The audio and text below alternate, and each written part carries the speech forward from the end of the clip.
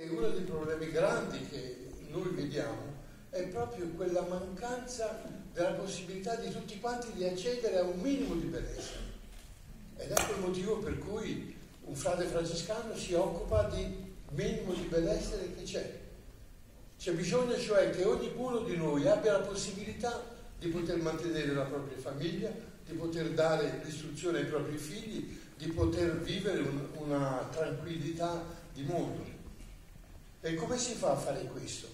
Ci hanno provato i frati del 1400, i quali hanno inventato la partita doppia, hanno fatto la prima banca, che non era come le banche di adesso, eh? erano banche a prestito eh, che cercavano di aiutare la gente che si trovava in grande difficoltà. E poi piano piano eh, la riflessione sull'economia è venuta avanti. Come è venuta avanti? Cercando di capire, per esempio, la moneta che cosa è. Adesso io con i soldi posso comprarmi una persona. C'è chi, c'è chi si compra una donna.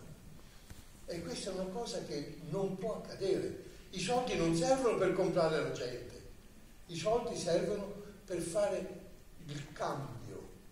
Eh, c'è eh, una realtà che accadeva una volta quando c'erano le transumanze dei, delle pecore dalla regione Abruzzo alla regione Puglia.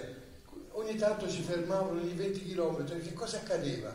Che i pastori davano il latte, davano le pelli e cose del genere e la gente dei paesi vicini andava a, per dare loro qualche altra cosa come il restauro di una, eh, di, un, di un carro o, o vestiario per le persone.